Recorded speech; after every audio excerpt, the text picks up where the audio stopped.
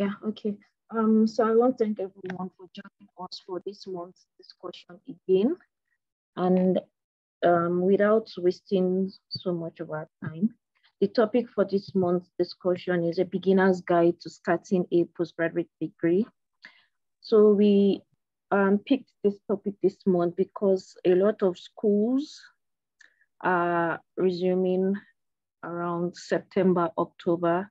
So a lot of students are resuming their postgraduate and fortunately it's also um, the time when ASUU just recently called off the strike. So many students, even in Nigeria, are also resuming. While it might not be the beginning for some of them, it might not be beginning of their um, postgraduate research study, but it's also, you can also see it as the beginning of their studies after taking almost one year break. So we believe this topic is very important for a lot of people. And the speaker for this topic is Raheem Aminu. He's a doctoral researcher at the University of Reading. And um, before he starts, I just want to give a brief um, a brief um, information about Raheem. Um, Raheem Aminu is a doctoral researcher at the University of Reading, focusing on climate resilience and small, sorry, I'm coming, focusing on climate resilience and smallholder livelihood outcomes in Nigeria and sub-Saharan Africa. Um, Mr. Raheem received his bachelor's and master's degree in agricultural economics from the University of Agriculture, Abeokuta, Nigeria, and China Agricultural University in Beijing, China, respectively. Mr. Aminu is a certified KPI professional from the KPI Institute Australia and has valuable experience in corporate strategy development, selection of organizational, departmental, unit, and process KPIs for various organizations such as the defunct DPR, Inlax Technology, among others. Mr. Aminu currently works as an assistant lecturer in Department of Agriculture and Economics and Farm Management at the Federal University of Agriculture, Abeokuta, Ogun State. Um, so join me in welcoming Mr. Raheem Aminu. And um, you can, you have the floor, Mr. Um, Raheem, to discuss the topic with us.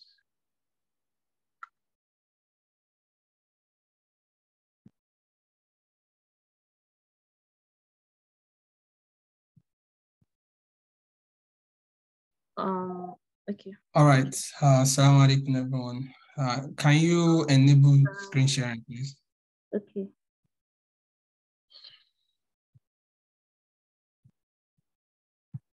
Um, I'm coming.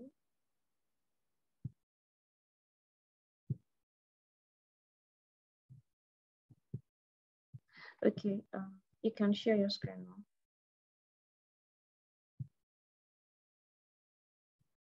Okay. yeah, yeah, yeah. Yeah, sorry, just a moment. Where's my Zoom? Okay. Here we go. Um, can everyone see my screen, please?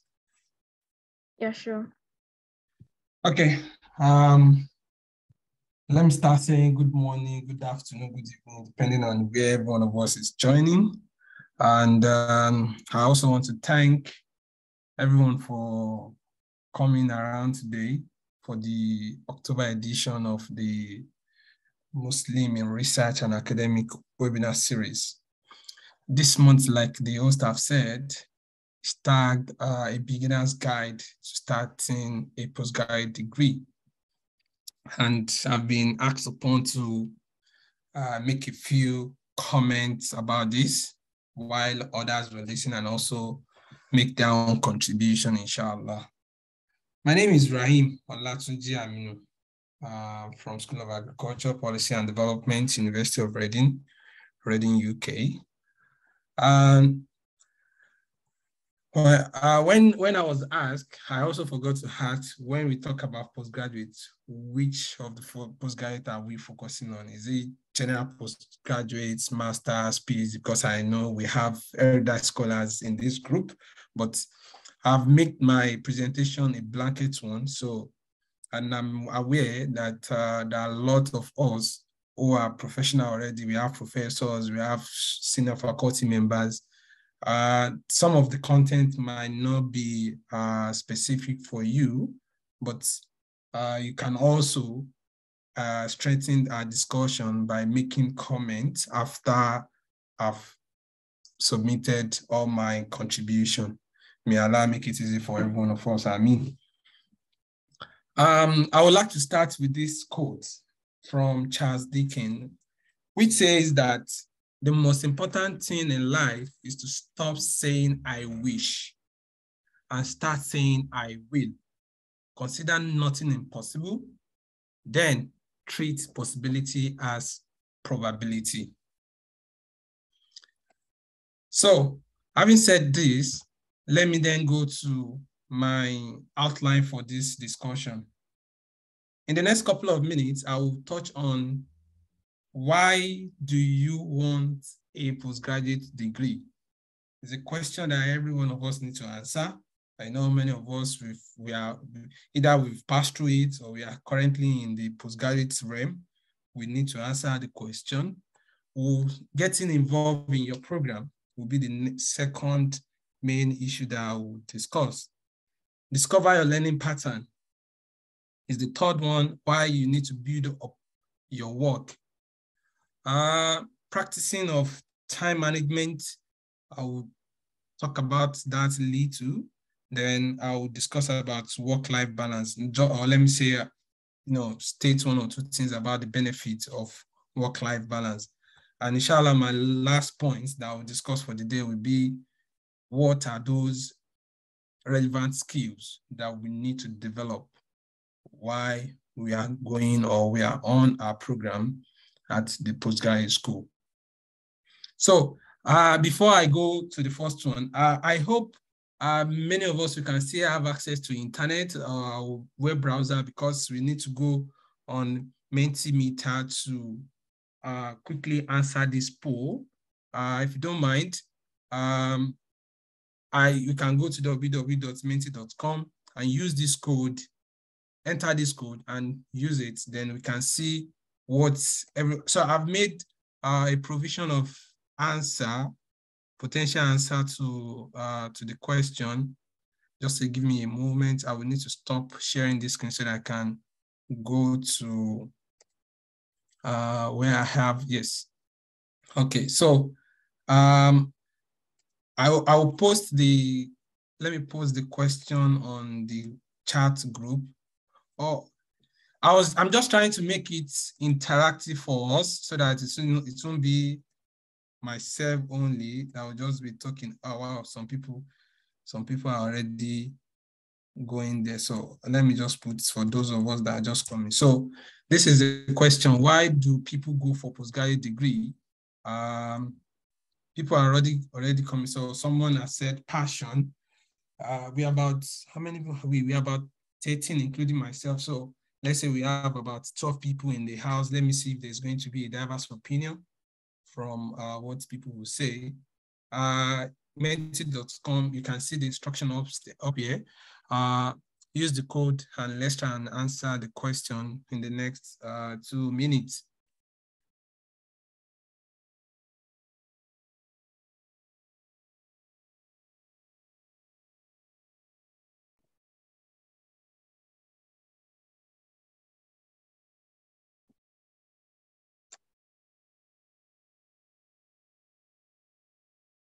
Interesting.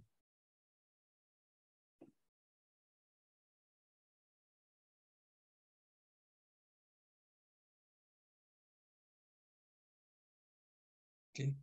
Can I have like, can I have more numbers? We have three people who have responded. Can we have like two more? What would be the 70% of 13 at least if you can have unemployment, two other reasons? Okay. Okay.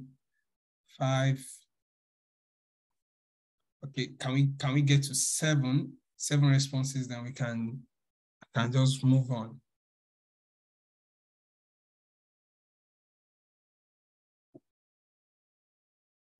I need two more responses. Two more, two more responses. Our time is time is going. Okay, passion. So, wow, it's like we are, we are having a draw. This is seven already. Can we can we make it 10? 10 responses. Actually, we can choose more than one option. When we are responding, we can choose more than one option. But at least this, this is giving us a reflection of why people are going for a postgraduate program. Uh, but for those of us who had a master's done in Nigeria, not those that went abroad, if you look back in your class and ask yourself this question, how many of my classmates that we started the program together and we completed the program, or maybe, you know, depending on how the program is being run. But from my experience, before I went to China, in my class, when I started my master's in Nigeria, we are almost like 24. And before we get to the middle of the first year, almost six people have dropped out. Reason is because they found job. So many people, many people come for postgraduate degree program because of unemployment. Some will say, okay, let me just be doing this program. After this program, maybe I'll get a better job. Some will come because of the passion, straight from master, from undergrad to masters. And for those who have said other reasons, then we'll know the other reasons very soon. But thank you so much, passion, passion, unemployment, other reasons. Nobody is right, nobody is wrong. I just want to know why we think people. So um, the next, the next uh, question. Something wrong with my Zoom? My goodness. Sorry, sorry, sorry, sorry. Can you all still see my screen, please? No. Okay. So, so thanks, thanks for those who participated in, in that poll. That's the first poll. Now, the second poll that I want to ask us to do is now asking ourselves, for those of us who have done masters, who have done PhD, why did we enroll in postgrad? Now, this is personal. The other one is asking on behalf of someone else. This one is for us. Now, um, we need to, is this is still the same link we are using. Um, we are going to use the same link, inshallah, to answer the question. Let's just go again. Um, let me copy the question here so that people know what we are talking about now. Why? Just this one, you need to give a word. Why did you enroll? Whether it's for job opportunity, whether it's for career advancement, whether it's for um, what else can need be, whether it's just to upgrade or upscale your skill, something like that. Yeah, that's the question in the chat. So we can pick it and you know answer the question. So why why do you, why did you enroll on your postgraduate program? skill upgrade to direct my career path, change in career. Wow, interesting. So can I have three people? Can I can we make it five? We can make it just one word. I mean, if you can, if it is not, we don't need to write it so long. For me, I have my reason for going for PhD or masters. I want to make more money. I want to make impact, you know. So can we can we have two more comments on this so that I can just move on now? I think I'm taking much. I've spent like five minutes on this skill upgrade. Wow, interesting. That's that's cool. Research and consultancy. That's where the money is. Yes, these are my people. We are in the same WhatsApp group. Don't worry. Research consultancy to direct my career path, to change career to skill. Wow. More people are saying skill upgrade. That's why it's becoming more, it's becoming bolder. More people are saying skill upgrade, skill upgrade. Okay. Okay, okay, okay. All right. For career progression, wow, that's very important. If you are an assistant lecturer and you want to become you want to become a full lecturer, you need to get your PhD. So at least for career progression, I can see I can reason along with that. Can we can we make it seven? So I can just close. Can we see the screen? Can we see the result as it's coming up? No, we can't see your screen. Wow. Apologies. I thought I'm sharing the results. No. Then where is this? Yeah. Okay, can you see it now?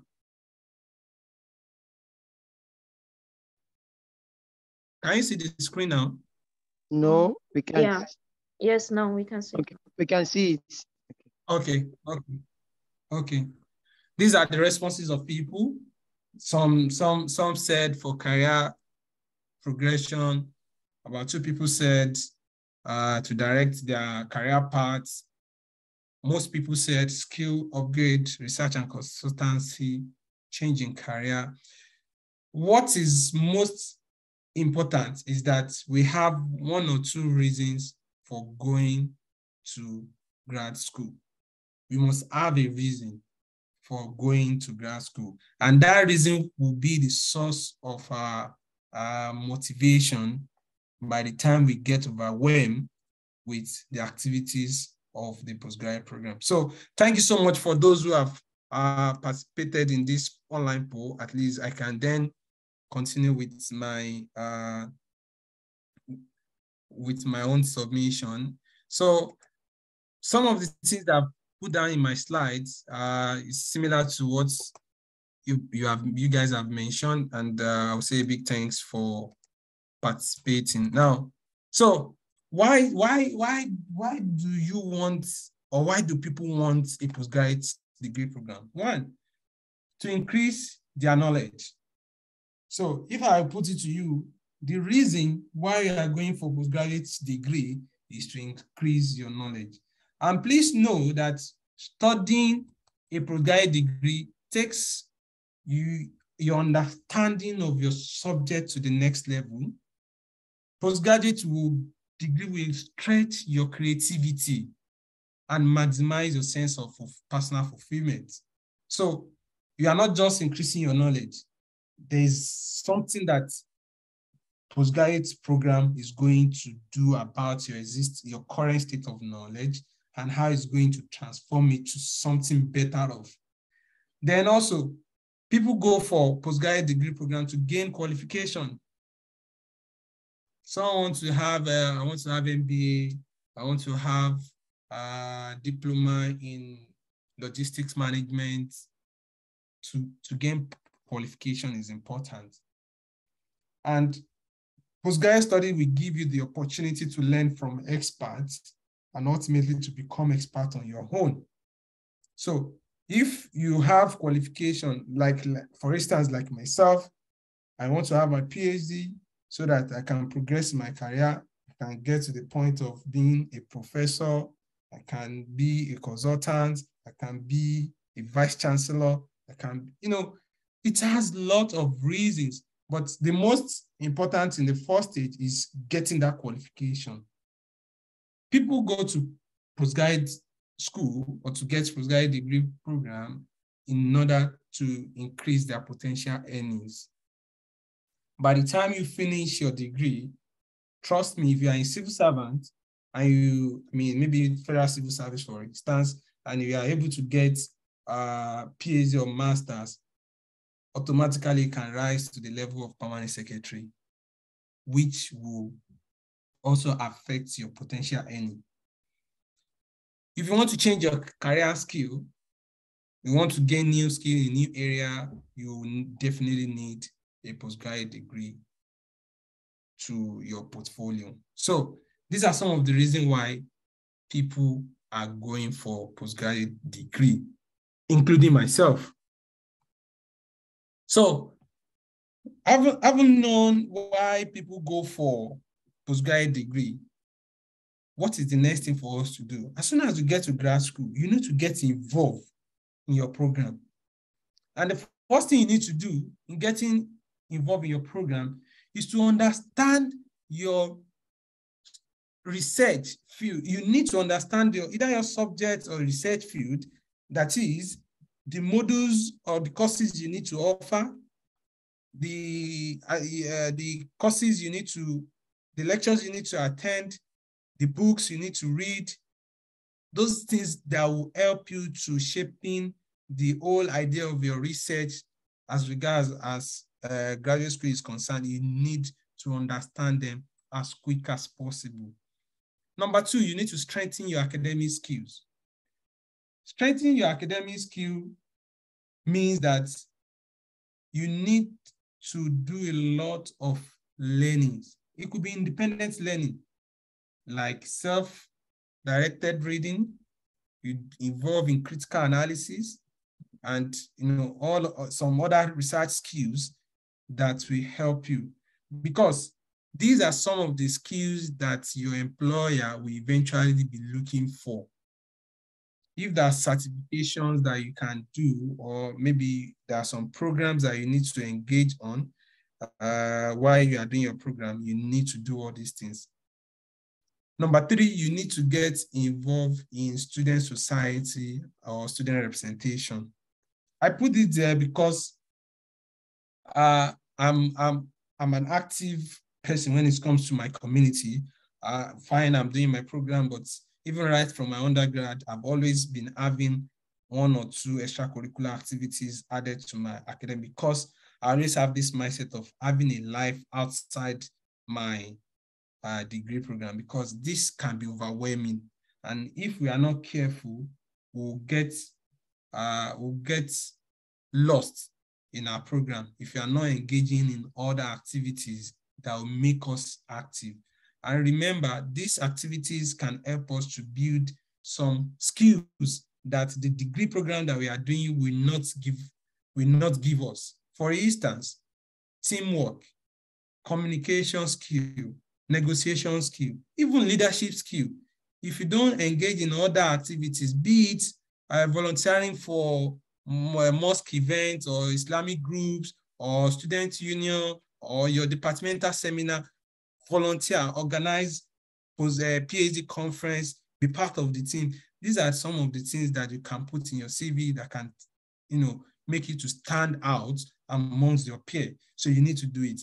Then also, you need to learn from researchers. When I say learn from researcher, what I mean is that please, let's engage or participate in seminars, our departmental seminars, be it online or in person, because it will help us to familiarize ourselves with recent, recent research trends in our area of study.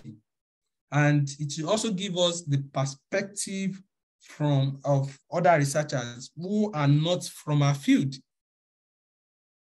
People can stand up and say, okay, we want to talk about poverty as an agricultural economist, the way I will view poverty will be totally different from the way a political economist will view poverty. The way psychologists will look at poverty might be different from the way uh, a mathematician will look at poverty. So if we engage in all these activities, it will help us to get involved in our program. So we should not just because uh, I'm going for a PhD or I'm going for master's, all I want to do is just go to class go home. You need to interact, you need to be socially responsible, you need to be aware and be conscious of what is going on around the environment outside your degree program. So the next thing I will mention uh, is discover your learning patterns. When I say discover your learning pattern, generally there are four types of learning patterns that I know Number one is the visual. The, if you are a visual learner, you might find it helpful to create diagram while you are studying. This can help you to uh, better understand certain structure of ideas. You could try color coding your notes as well. This can help you to organize information or can, you can, you can internalize your ideas in a better form. And most of the people who have visual learners, they tend to use video. They consider videos as a good source of material. They like watching documentary. They believe that watching, uh, having a video clip of a lecture, they can assimilate, they can learn faster. You need to discover which one suits you most, or let me say best. Then we have the auditory learners. These are the people who like to, who they will learn more by discussing with people, engaging in group discussion. Maybe there is a lab briefing that, you know, short, short groups that can make you to learn. You can discuss your material. You can discuss a paper that you have just, you just, you just read with your peers. If you are working in a lab, you attend lab meetings. These are some of the activities that they can, and these are people who you can, if for instance, if you go to class or you go to a seminar, if the facilitator is okay with it, if you, they are type of people that will approach a facilitator and ask, can I record you? Because after the session, when they listen, they will assimilate more faster than even being in that session. So number three are the, the reader or writer learners. What do they do? These people, these are the type of people, I mean, while we are going uh, during our undergrad or master, you see some people, they will have, let's say 40 page of notes, and they will have jotting round one, jotting round two, jotting round three. When exam comes, you won't see them reading the note again. What you see them reading is are their jottings. So these are the people that they will, they will prefer to write, do jottings, make comments on papers.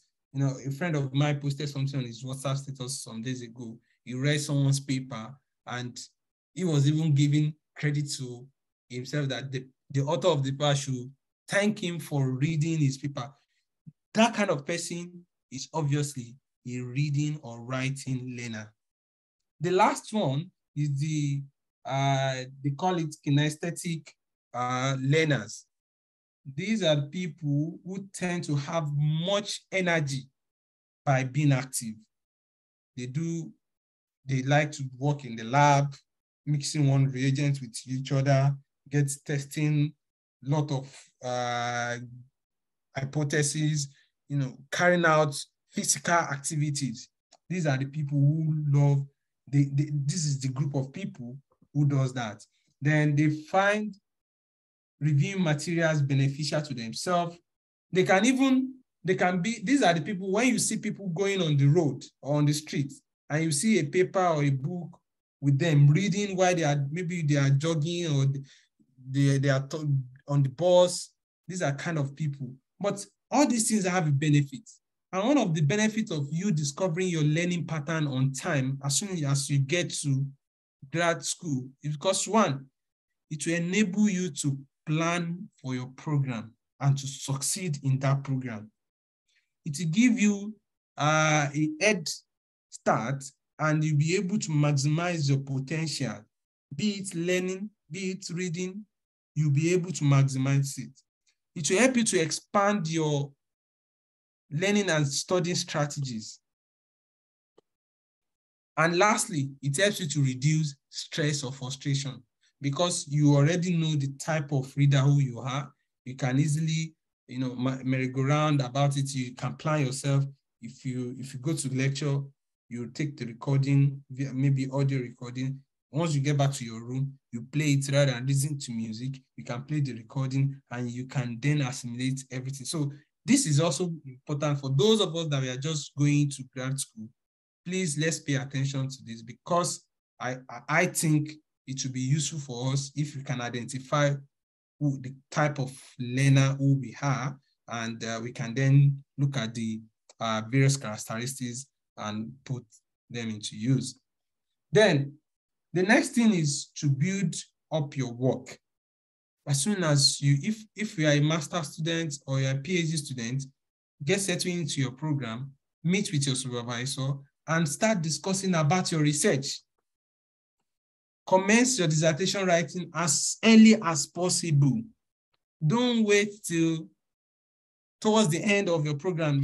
Okay, I have I have a lot of time that I can use. So you need to take time, do it as quick as possible. So if you're a master student that you are doing one year program, as soon as you commence your coursework, start thinking about the research you want to do.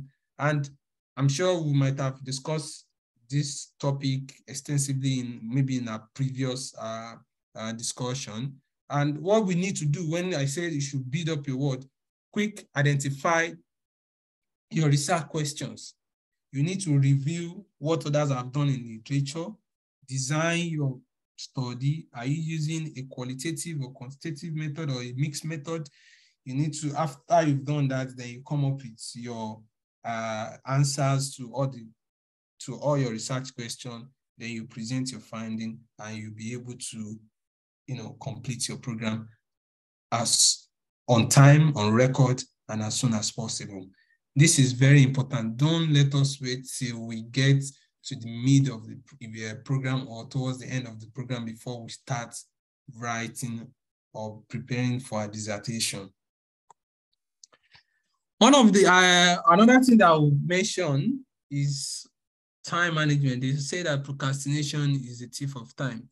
I can bet you if you are not, if you are not careful, by the time you are starting your uh, postgraduate program, you can get overwhelmed finding your feet in the program and before you realize time has gone already. So, so we need to manage our time. And one of part of the benefit of managing our time is one, if you have a good time management skill, you'll be able to, mm, to achieve your goals. You'll be able to achieve your goals faster you'll be able to prioritize your work. You'll be able to prioritize your work. You'll be able to get more done in less time, which I call efficiency. You'll be more efficient because you know that, okay, this time I need to sleep. This time I need to cook. This time I need to read. This time I need to go to lab. This time I need to go and have a meeting with my supervisor. You'll be able to be in control of your work it helps you to boost your confidence because you know that you have put, you've put everything under control. You'll be able to break down tasks into smaller tasks. So rather than taking a whole project and feeling overwhelmed, by the time you know, okay, this time let me read from this page to this page, uh, I will consult the library, some textbook, go to library, some part. You'll be able to break it down and you get what, and the overall thing is that it helps you to reduce stress and which you achieve all your set goals if you make use of your time management skill very well. So it's one of the key skills that we need while we are going to grad school. Part of it is time management. So when I talk about work-life balance, what are the benefits of work life? I know it's difficult. This is this topic is usually a controversial one, even amongst HR people. They will be like, it's not easy to achieve work life balance. But to a large extent, as a student who is going to grad school, please have it in mind to have work life balance, or let me say, study life balance, because it helps you to maintain your mental health a whole lot of people are going through depression, suicide, because we are not looking after our mental well-being. And being a grad school uh, student, it's we can easily get trapped in a lot of issues that can be acting negatively towards our mental health. So if you try to balance your lifestyle with your study style, you trust me, you are doing yourself more good than harm.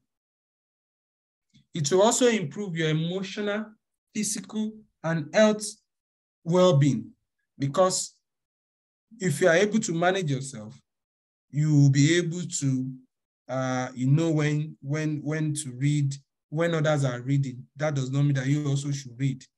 When you're supposed to go on holiday, even though you are you are doing your masters is a one year program, nothing stops you from going on holiday. Nothing stops you from doing exercise. I mean, a whole lot of us will, will be doing our exercise. We'll say, "Oh, I want to I want to go to the gym." We're going in the evening after we've had serious stress during the day. It's you know, thanks to one of my senior colleagues who took me, says, okay, you know what, if you want to be more productive, and I've tested this hypothesis and I see that it is working, going to the gym early in the morning, do whatever thing I want to do in the gym, I'll feel refreshed, I'll feel relaxed by the time I'm going to school. And I'll be able to do more things that I want to do than, you know, saying that I will go later in the evening. So we need to balance this thing. It's very important. And number three, it will help you to increase your productivity. This is another good uh, point because what we are looking at, the number of hours is taking us to complete a particular task. If you if you are having more outcome using less inputs, that means that you are having more productivity. You are being productive. So it helps us to increase our productivity. And you will also be able to become more rounded individual because you, you can imagine if you you balance things very well in the morning they will see you at the gym around 11 o'clock they already see you in the office by 2 o'clock you are going for a meeting by 5 o'clock you are going to volunteer in an event on campus by 6 o'clock you are back at home by 7 o'clock you are you are you've started reading your book again you'll be able to do all these things without affect I mean, each activity will not affect each other, but it is not easy. We need to keep trying. We need to keep pushing before we're able to get this. And last comment here is that we only have one life.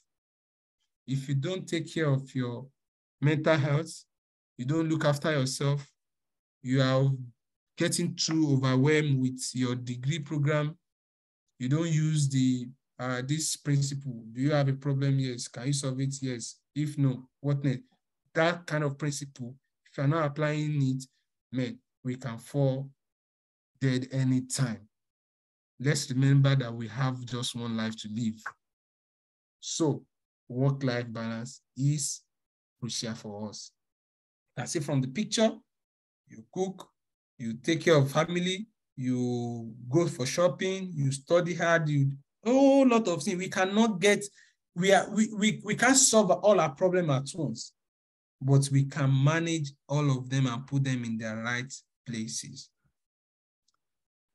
The last um, topic uh, or issue that I'll be discussing in this uh, presentation is the relevant skills that is that, that could be required from us while we are in grad school or that we need to develop. One, critical thinking. We need to creative mindedness, modeling. We need to upskill our uh, statistical skills. A whole lot of data analysts, data enthusiasts, stick people, they are out there now. Before you hear it, well, I'm trying to model something or because these are the new, these are where we are going to. Artificial intelligence is coming. It's working with backend modeling, backend Python programming and other stuff.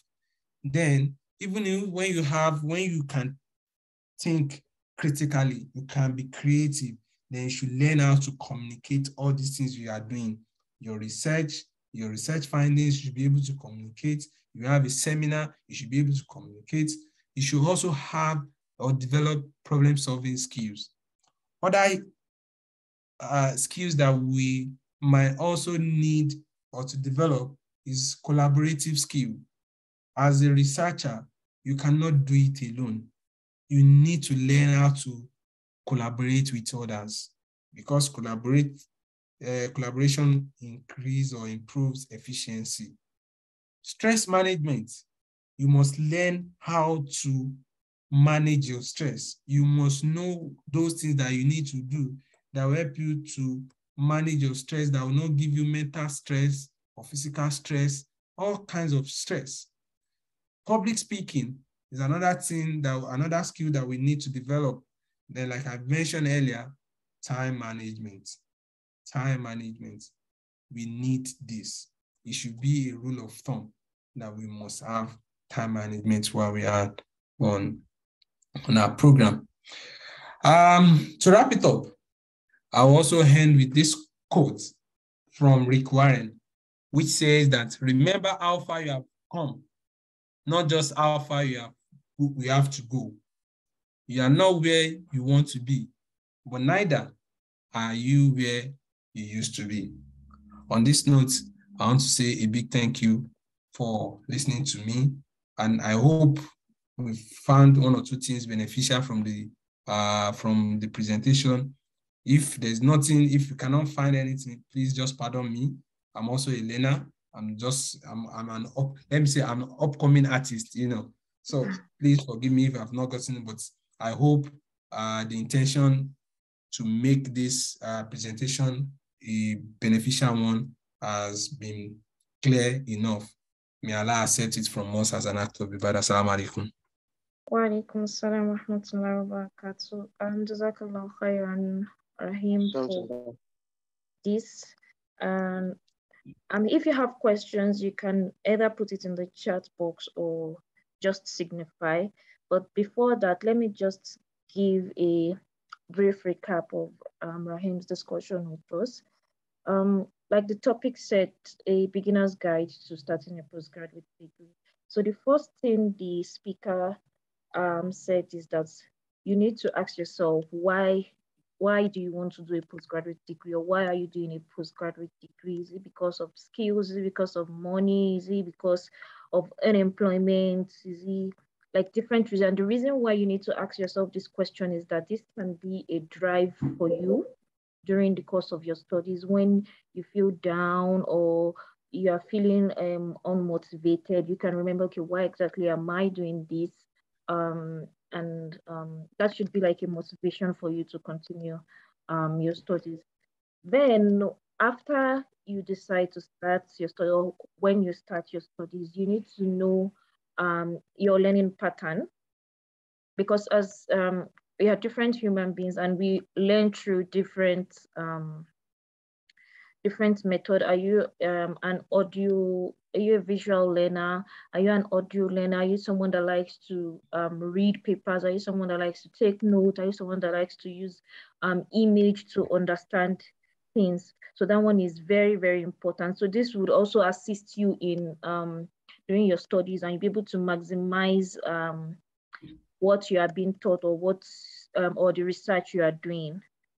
Then during your program, you need to be totally involved in different aspects. Understanding your understanding your research, strengthening your academic skills, joining um, student societies so that um, you won't just be focused on um, your research, you know, also volunteering also, this can um, be like additional soft skills for you. So when you finish your studies, you would have like um, different other skills.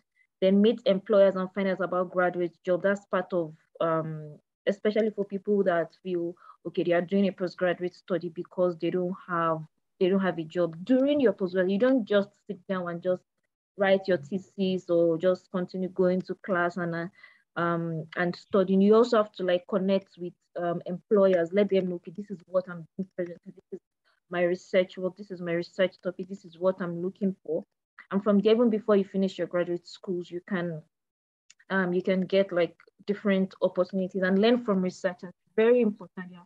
A lot of people have gone through this stage we are now, and speaking with them and asking them for advice can help in um in can help in a very long way.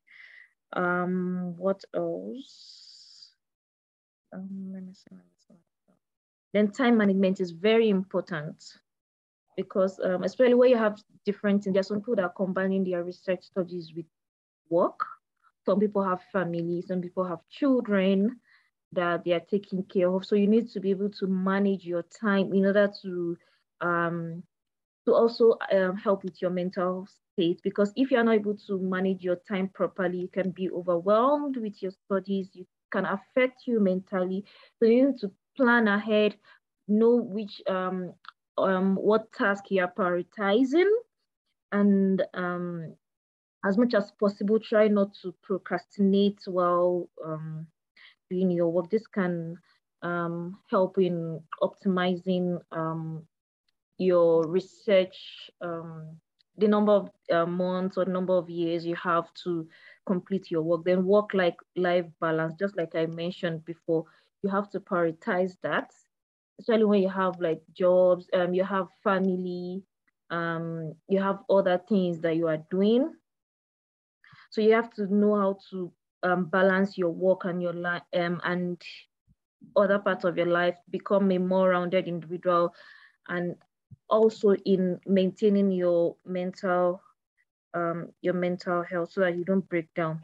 And also while you are doing your postgraduate, trust are supposed to develop re relevant skills. I've mentioned that before, but there are so many skills that are important, your criti um, critical thinking, um, communication skills, leadership skills, problem um, solving skills.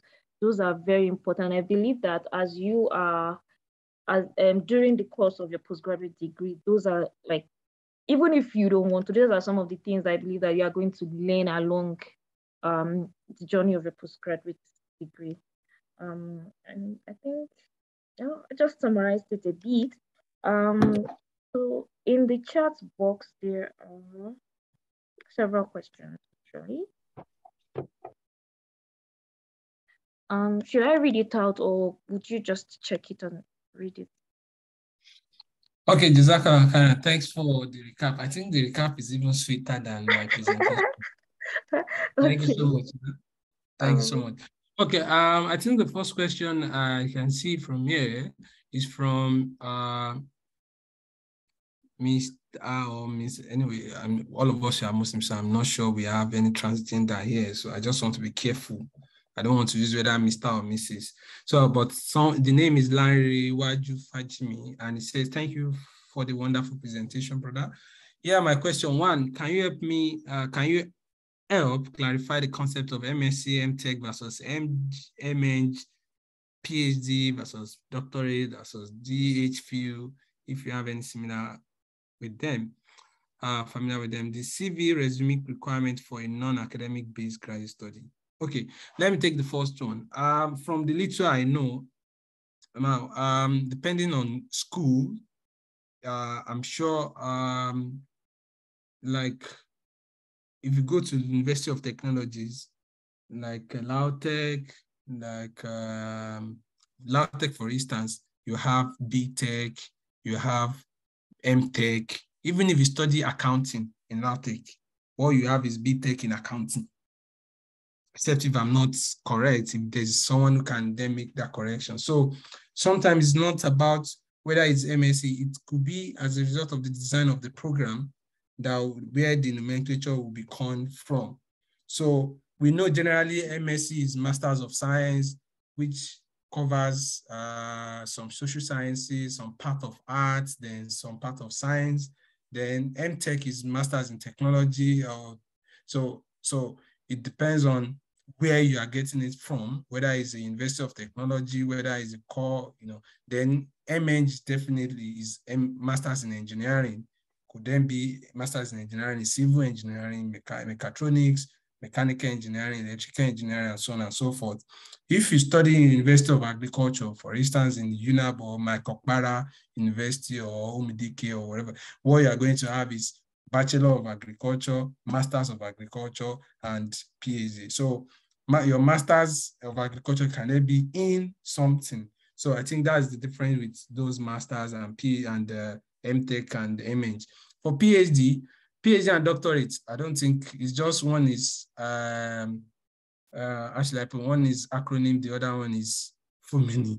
I don't think there's any difference between PhD and doctorate if we are talking in terms of qualification. Except doctorates could be a doctorate degree. Anyway, we might have people who are more knowledge than me that can expose to explain. The few, I mean, I think I'm seeing this one. What I know is MPhil. I've, I don't think I've seen DPhil before. MPhil is when you are unable, after you finish your master's, you you enroll for PhD program, but they found that your capability cannot get uh, cannot take you through uh, your, your PhD program. So at the mid, maybe at some point they ask you to go or they will just, they will give you MPhil. So MPhil is higher than master's, but it's not up to PhD. I, I might also be wrong. If I have, if there's someone who can make better explanation to that, uh, welcome. Then the second question, CV resume requirement for a non-academic based graduate. CV, I think you don't need to uh, worry yourself about this. Are thousands of CV formats, uh, what do you call it, templates out there that you can look for that we can when you are building your CV. Even MS Word, if you use Microsoft Office, uh, Microsoft Word, there are template of CV there that you can also use if you are referring to templates, not the content. Now, uh, academic CV is totally different from non-academic CV in terms of arrangement, things that goes in there. You can see an academic CV as long as 25 pages, 30 pages, but a non-academic CV, maximum they will tell you three pages. So you need to be more specific about that's just like I said, there are some uh, components that are required. Even when you are applying and they ask you to submit is an academic CV, they will have stated this. We want to know this, the last salary you earned, your current position, the number of students you supervise, journal, list of journal can take can take you like five, six, seven, 20 pages alone. So I think that is the difference. Walahalam. Um, Someone is saying that he has a question. Maybe the person will ask by himself. Uh, Mohammed Ibrahim Mogajido said, can one really combine work with PhD in Nigeria if one is not working in the academic environment? How can one develop oneself more in the public speaking? Trust me, I find I have a lot of people who are not working within the four walls of the university and they are running their program. I know it's not easy. It's a bit easier if you are doing it outside Nigeria but it's not easy given the economic ash, the economic challenges, family issues and stuff like that. And to be able to combine, even those that are in that are within the university that are running their program, they, they, they will be doing the program and they will still be teaching in class. They will still be doing other departmental activities. So, so it's not easy, but I think the best thing is if you can find a way to take leave, study leave, focus on your PhD, get it done. But if you cannot, because that will also uh, influence whether you have a funding or not. Do you get it now? So if you have a funding, you can go on leave of absence, focus or study leave, get your PhD done, move out. But if you are the ones self-funding yourself, you need to go to work and then don't do full time. That is the mistake that a lot of people have been making if you know you have a job at hand and you want to get your PhD done, don't do full, uh, full-time PhD, do part-time. So if the normal PhD will take three years, know that you, you are doing your PhD for about five or six years because you are, you are on a job. So, and even outside, I think that is what is tenable. If you are working and you want to do your PhD, you do part-time. They will not even admit you into full-time when they know that you, you are working. So let's uh, let's know. Then how can one develop? Well, developing acquiring some skills in terms of public speaking. You need what you need to do. Uh, you, you can read, but you also need to undergo some training. There are a lot of training firms in Nigeria who are running this program, and uh, on LinkedIn Learning, you can also get you can get some training there on uh, Coursera, uh, New Learn, uh, and so on. You can there are a lot of training, but it's something that can be that skill can be transmitted via training, and you also need to train yourself. I there are a lot of barriers that prevents people from becoming a public speaker, and trust me, it's not until you stand on the podium and talking to uh, 20, 30 uh, people that you say, okay, you are talking, I mean, you are uh, you are you are you are a public speaker. It is not even within at home. You can start from your from your uh, nuclear family. Every morning, do when you are doing a scan, be the one that will facilitate uh, the memorization of the day or the hadith from uh, Riyadh Solihin that you want to do. You can start talking to yourself. There was one someone I recommended that uh, during, during the lockdown that he has all his family, and I said, "Sir, while all of us are here, let's try to be having discussion every night after Tarawih." And these these guys, they were able to develop their skill from there to that. Now they go when they go back to school they are discuss they are taking classes taking tutorials leading to the, so this is where you can start it from. So if you have the opportunity that you have people at home use them as practice. They won't charge you any money. Uh, Mohammed Ibrahim is asking that how can a master degree student overcome his or financial difficulties? A situation where he didn't he didn't acquire a material. Ah well this one is, is deep. I don't know how you want to uh, overcome, but it's only Allah that's uh, that that that can help every one of us to overcome our financial difficulty. Even Dangote is still looking for money, so you also have financial difficulty. But like I said, when I said that why the people go for PA, uh, masters at the beginning, because I've seen a lot of students. The reason why we have attrition rate is because they will have saved, for instance, for those that are just coming from NYSC, they will have saved during their NYSC, save their money, then they will go for master. They will pay first year. Then the problem now is how do you want to get the second year? How do you want to get the third year if you are if if if if you are unable to finish within two years? These are major problem, and a lot of people left their program because the inability to raise funds. May Allah make uh, it easy for every one of us and make our financial challenges easy for us to be able to get more money to do this program. But like I said, please and please, we don't need to rush.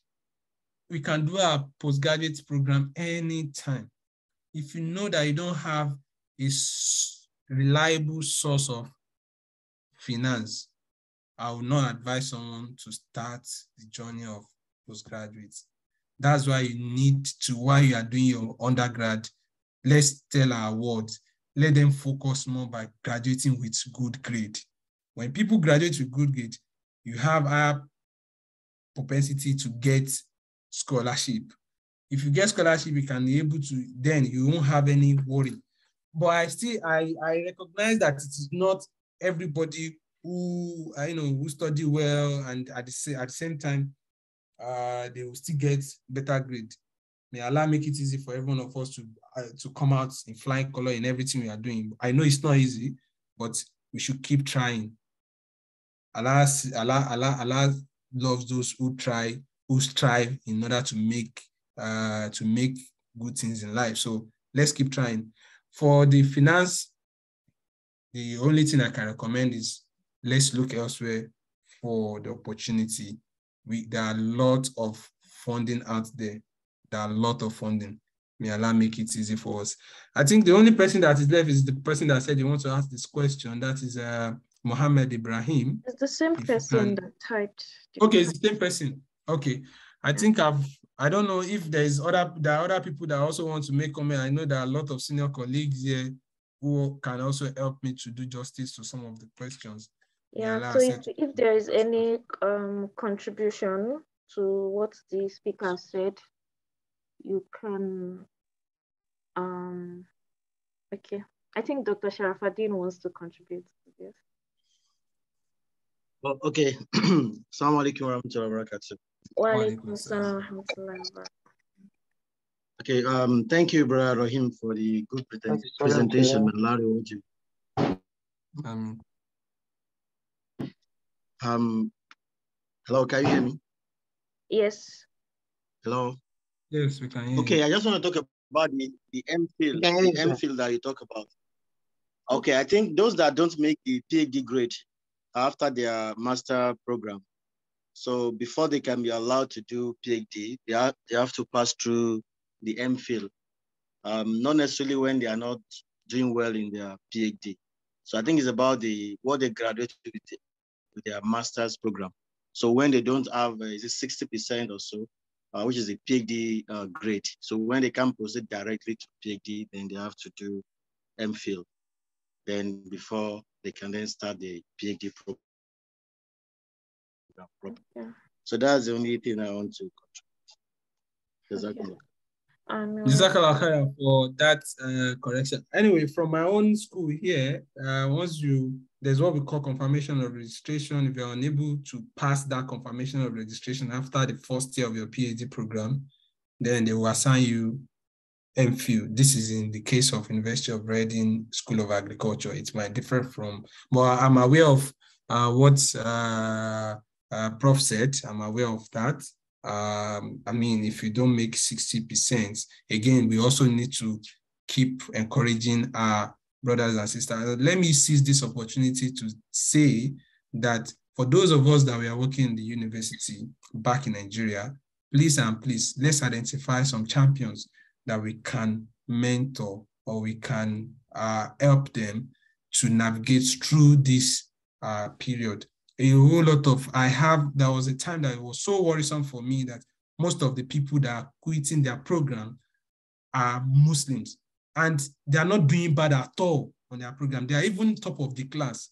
But just like the question one of my brothers asked about financial issues, and you see about two, three, four sets those that are leading the class are Muslims and they are not completing their program. And when you talk to them, ah, but uh, there's no money, oh, they need to go and also they need to. So it's not something. Maybe, maybe one day Mira will become a funding mm-hmm. agency, a funding body that will be sponsoring people.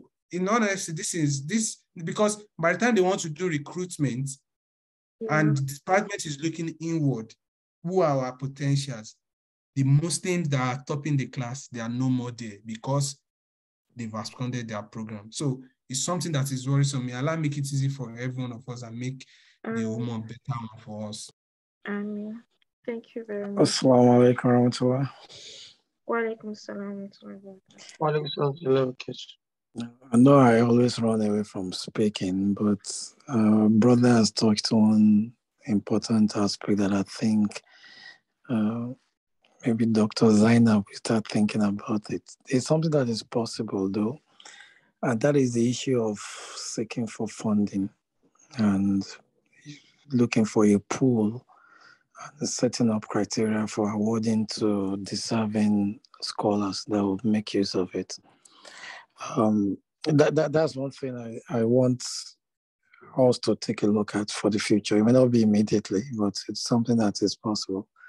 And the issue of MPhil, I think largely most of the academic environment are trying to do away with MPhil in Nigeria, so to some extent. I know abroad, if you fail to make the cut for your PhD studies, you rather than saying you have just wasted your time, they will just give you the MPhil. After is Reading one year or one and a half years where you get your confirmation? I thought it's one and a half years. It's between 12 to 15 months. It's 12 to 15. Okay. So I know a couple of universities abroad, they I was kicked out in South Africa after one year. The, my school's own is 12 months and I I didn't meet the cut, so I was kicked out. And there was no opportunity for MPhil in that school anyway.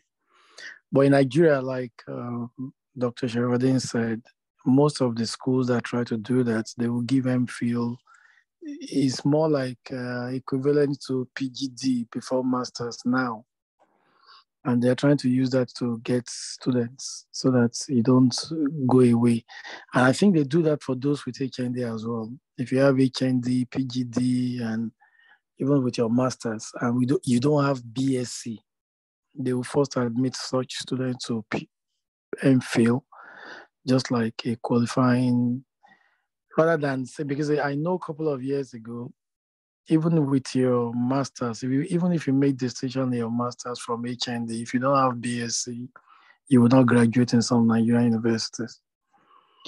So the window of MPhil was introduced to to cross from different departments or to make up if you don't meet up to 60%. But I know in a particular school, some people make six, even 70% in their masters, but because they did not have BSc, they were admitted into MPhil. Assalamu alaikum. Um, wa alaikum salam Jazakallah khairan to Jazakallah khairan. Um, it, past time. So is there any final contribution before we end today's discussion? Uh, if there isn't, inshallah. Sorry, sorry, can I make a point? Okay. Sorry, I am sorry, um, the speaker. I am the MA, the MEng. I was made to understand that MEng is for non-academic, those that want to work in the industry, like those that require uh, masters for for industry sake. Why the M Tech, our MSc is for those that want to go either with other academics or just want to get a degree. While the DPhil, I think the DPhil is just used here in my school or some other school in South Africa. The DPhil is different from PhD. I don't know why. So I think that's just the main thing I was able to find about it too. All right, thanks for the lecture. Thank you. Um, thanks, uh, Brian. Thank um, you so um, much. Okay. And with that, would um, end today's program. But before that, I just want to mention again that this monthly discussion is organized by Muslims in Research and Academics. And we have um, monthly discussions, inshallah. Next month, last Sunday of next month would be our final discussion for this year because we use December to prepare for next year's topics and guest speakers. So we'll have our final um, discussion for this year next month, inshallah, last Sunday, 7.30 p.m. Nigerian time. And also, if, in case you need um, the recordings for this or you want to send to someone, um, there's a YouTube link. Um, I'll try and post it on the chat box before I end this, where you can send or share to other people and they can also benefit from this. Um, Jazakallah once again to the speaker and to all participants. Thank you very much. May Allah reward everyone. Assalamu alaikum. Amin. Wa alaikum. Amin. Wa alaikum salam. Wa alaikum salam. Um, the, ah, the um, Tola Shogbeson, I hope is the same Tola Shogbeson that I know with Ayo Muritala. Yeah.